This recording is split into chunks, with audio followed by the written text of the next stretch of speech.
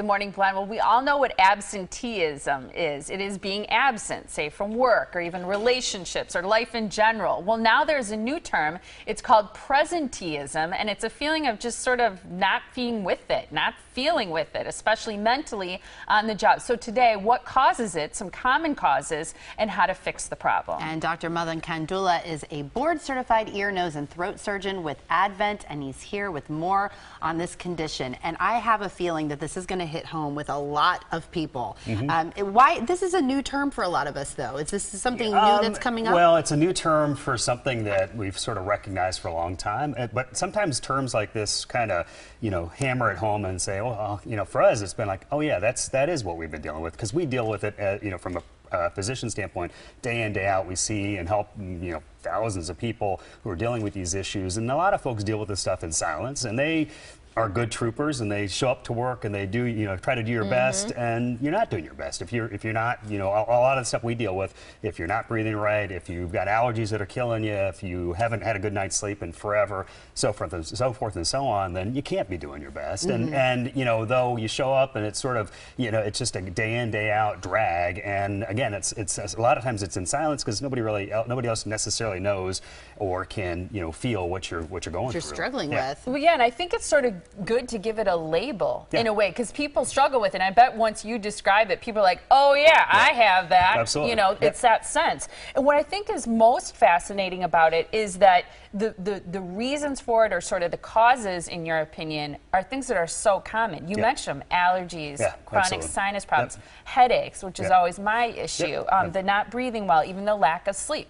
These things are affecting our ability to, to do our jobs and to probably feel good about what we're doing at Absolutely. work. Yeah, and it, and it does. And a lot of times, even the person that it's happening to doesn't necessarily know that it's hindering them. But if anybody's gone to work with a cold or, you know, those sorts of things, or maybe stayed up too late and went, you know, went went to work the next day, and you're just kind of dragging, you go through the motions, and it's just, it's not helpful. Um, what we've been doing actually as a practice is we actually started partnering with uh, some employers and saying, hey, you know, let's look into these issues. And we, we've actually gone to workplaces and, and um, have sort of mini consults with patients and talk about the things that we deal with and we can help with. And the good thing with the things that we deal with is we can help, um, you know, we can keep folks up and running, get you back to work, you know, the next day for a lot of our procedures and things like that. So it's a nice fit and it's a perfect fit for, for what we do. Now so. we've talked about it. We've been telling everybody we're going to make it better. So mm -hmm. what, what do we do then to, to make it better? Because as you said, the, the causes can be various. They're yeah, uh, different for everyone. So yeah, there are for the issues that we deal with as a practice. You know, allergies, chronic sinus issues, lack of breathing through the nose. That'd be the number one issue.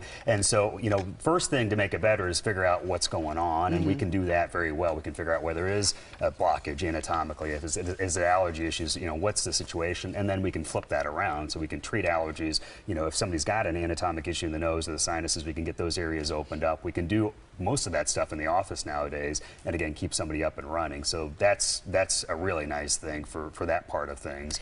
Does it ever scare people when they when they, they, they meet you or they think about seeing you because you're a surgeon? Mm -hmm. So I think a lot of times people think if I go to a surgeon, he's going to do surgery on me. That's not always the, the no, best course of action. No, it's not. And I do plenty of surgery, but we also we've been, got an allergist on staff, and so for folks who've got nose and sinus issues, you know, it isn't. And I've said this before, it isn't one size fits all. It's uh, you know, I, if, if there's an issue that we can come after, we're going to let you know about it, mm -hmm. and you're going to know about, you know, we can go this way or that way. If there's an issue that we can treat in a medical fashion, um, then you're going to know about that too. And so, to each their own. You know, so if somebody wants to get better, that's that's sort of step one. Step two is getting in to, to figure out what your options are. Step three is, you know, on us to get them better. So, right, and yeah. that's the converse to that. For somebody who does deal with sinus issues, I can say going to a surgeon makes me feel better because I think he's going to tell me if I need surgery and we're going to yeah. do it. I'm going right. to be better, better for it. So yeah. that's fantastic. So um, again, we want to make sure everybody knows how to get a hold of you as mm-hmm. well. Mm. Um, and uh, you have the uh, office on Mayfair Road in Tosa,